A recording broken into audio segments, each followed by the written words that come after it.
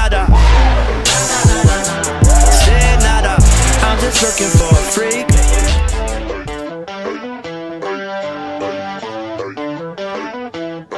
My ex left saying she ain't got the time, yo. I double take and pray that.